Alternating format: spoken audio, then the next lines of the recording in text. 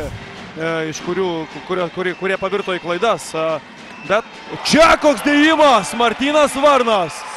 Tas krepšininkas, tas jaunasis Žalgirio talentas paskolintas Kedainių nevėžiui, kuris šiemet e, labai stipriai progresavo.